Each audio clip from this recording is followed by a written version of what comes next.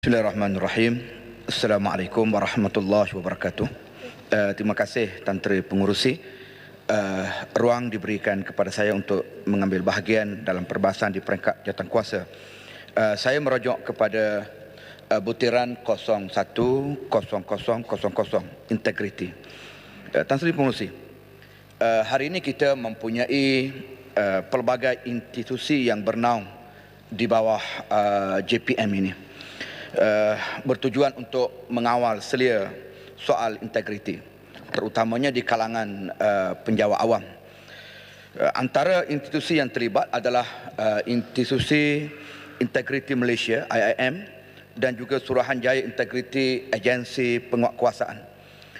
Uh, namun saya melihat uh, aspek membendung penjawat awam daripada terlibat dalam aktiviti yang tidak berintegriti ini nampaknya masih uh, tidak ada kesudahannya. Masih lagi banyak berlaku kes-kes yang melibatkan uh, rosaknya integriti ataupun uh, runtuhnya nilai integriti ini. Tasri Pengurusi, kalau saya lihat pihak kementerian pernah mengeluarkan satu statistik Uh, berkenaan dengan kes penjawat awam yang dituduh dengan kesalahan tata tertib. Uh, sepanjang tahun 2010 sehinggalah tahun 2016 tahun lepas uh, adalah sebanyak 31,236 kes. Ini ada satu jumlah yang terlalu banyak melibatkan kes-kes uh, kesalahan tata tertib uh, penjawat awam. Dan jika dirujuk kepada statistik Biro Pengaduan dan juga pendakwaan SPRM, tahun ini saja kes tangkapan melibatkan penjawat awam, tahun ini saja 374 kes yang melibatkan tangkapan. Jadi eh, saya melihat eh, Tan Sri Pengurusi, araninya sebahagian besar kes-kes ini adalah uh, melibatkan uh, sektor sokongan berbanding uh, pengurusan profesional dan juga pengurusan tertinggi. Jadi timbul persoalan di sini adakah uh, mereka ini uh, benar-benar bebas daripada pencemaran integriti sehingga mereka tidak uh, dilibatkan dalam uh, penangkapan dan seumpamanya ataupun uh, ada perlindungan tertentu yang menyebabkan mereka uh, tidak tertangkap ataupun dibebaskan dengan begitu saja. Ini persoalan yang saya ingin kemukakan untuk mendapat perhatian dan juga jawapan telus daripada pihak kementerian. Tan Sri Pengurusi, uh, satu perkara juga saya telah berkali-kali sebelum daripada ini pun membangkitkan tentang uh, ombudsman di negara ini. Sudah sampai masanya sebab Malaysia ini adalah uh, menjadi anggota keahlian kepada peringkat Asia Ombudsman ini. Eh, sudah sampai masanya kerajaan meneliti secara serius tentang salah laku dan juga rasuah di kalangan penjawat awam yang berlaku dalam negara kita. Kerana mereka ini secara terus uh, berada di bawah tanggungjawab pihak kerajaan. Dan ini jugalah yang menjadi tunjang yang efektif dan efisien kepada pembahagian uh, bajet yang dibentangkan saban tahun dan saya juga ingin uh, mendapatkan penjelasan lanjut daripada pihak kerajaan mengenai dengan penglibatan uh, pegawai daripada Jabatan Audit Negara dan juga SPRM dalam projek-projek yang bernilai 500 juta ringgit Malaysia ke atas.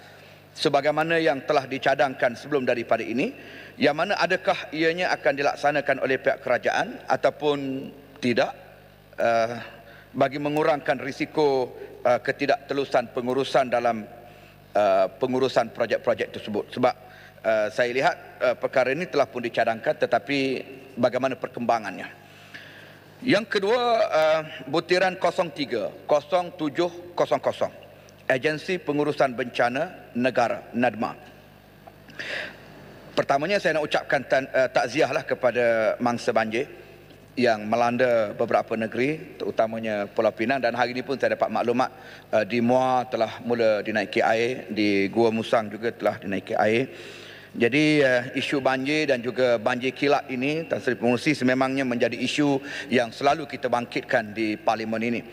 Dan kita tidak hanya bercakap soal bagaimana aspek uh, pengurusan agensi-agensi kerajaan ketika berdepan dengan uh, situasi bencana ini. Tetapi uh, kita mesti melihat juga yang paling penting ialah bagaimana kita nak mengatasi masalah uh, bencana banjir yang semakin menjadi-jadi dalam negara kita ini. Ya, kita beriman dengan ketentuan qada dan juga qadar Allah Subhanahu wa taala. Tetapi dalam masa yang sama kita juga diajar untuk berikhtiar semaksimum mungkin bagi mengatasi uh, masalah yang kita hadapi. Kemudian kita bertawakal kepada Allah. Iza azamta fatawakkal 'ala Allah. Jadi pendapat saya, jika sekiranya Nadma ini hanya bertindak sebagai one stop center semata-mata kepada pengurusan agensi-agensi lain uh, macam bomba dan lain-lainnya dalam negara kita untuk berhadapan dengan bencana, maka saya kira Nadma itu tidak perlu dan tidak memenuhi pun keperluan uh, menghadapi bencana. Kerana kita tahu setiap agensi-agensi ini uh, mereka telah mempunyai SOP mereka sendiri yang lengkap, yang mantap. Jadi uh, keperluan Nadma itu tidak tidak tidak diperlukan daripada aspek itu. Jadi justru itu Tan Sri Pengurusi uh, saya berpandangan supaya Nadma ini seharusnya bergerak lebih ke depan.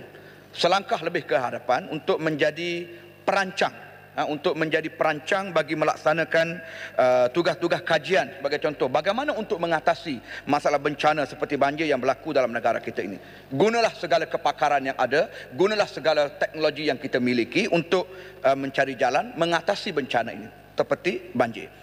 Contohnya uh, bagaimana kita tahu dan kita maklum bahawa sistem saliran dan peparitan dalam negara kita ini antara uh, subpunca berlakunya banjir. Termasuklah pembangunan yang tidak terkawal antara punca berlakunya uh, banjir, tanah runtuh dan sebagainya. Jadi kenapa hal-hal yang seperti ini tidak diteliti dan dikaji oleh pihak NADMA untuk mengatasi dan mencari jalan penyelesaiannya. Dan ini sekali lagi uh, dia berbalik juga kepada soal yang selalu kita timbulkan ialah soal efektifnya pengurusan uh, agensi-agensi kerajaan ini. Sebab saya tengok terlalu banyak agensi dan akhirnya dia timbul isu redundant gerak kerja. Dan ini bukanlah merupakan satu pendekatan yang baik.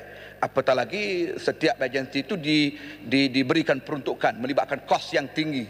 Jadi kemanakah nantinya kebijaksanaan kita mengurus keuangan dan juga dana negara apabila uh, kos-kos yang tinggi itu hanya hilang begitu saja dengan banyaknya agensi tapi tidak efektif untuk mengatasi bencana dan juga apa yang Uh, melanda negara kita, musibah yang melanda negara kita. Dan yang ketiga, terakhir dengan masa yang masih uh, berbaki ini, uh, saya merujuk kepada butiran 06 kemajuan Islam. Baru-baru ini, Tan Sri Pengusi, uh, telah ada satu cadangan mengenai dengan pusat mediasi Islam yang dikemukakan oleh Persatuan Peguam Muslim Malaysia sebagai satu uh, medan untuk menyelesaikan uh, kes-kes pertikaian Uh, secara aktif yang melibatkan uh, umat Islam dan juga bukan Islam. Seperti mana yang kita sedia maklum, uh, perkhidmatan mediasi ini telah pun wujud melalui satu majlis yang dinamakan sebagai majlis suluh.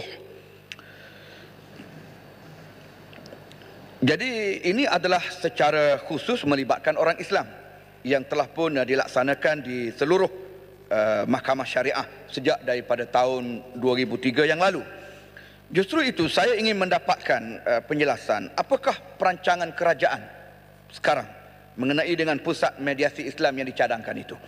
Dan uh, adakah kes-kes pertikaian uh, yang berlaku yang melibatkan perceraian pasangan yang memeluk Islam dan juga isu unilateral convention ini uh, juga akan termasuk di bawah perancangan uh, pusat mediasi yang dicadangkan uh, oleh pihak uh, persatuan Uh, peguam Muslim Malaysia ini.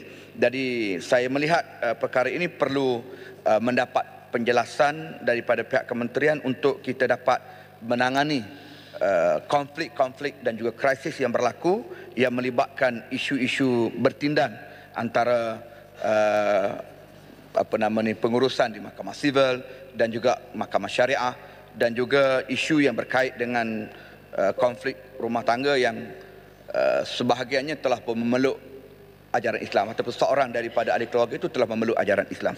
Jadi uh, perkara ini masih lagi menjadi isu tertunggak dalam negara kita dan cadangan untuk menubuhkan pusat mediasi Islam ini saya rasa uh, perlu diberikan satu perhatian dan kami mohon uh, apakah tindakan uh, mutakhir daripada pihak kerajaan. Terima kasih. Tan Sri Terima kasih.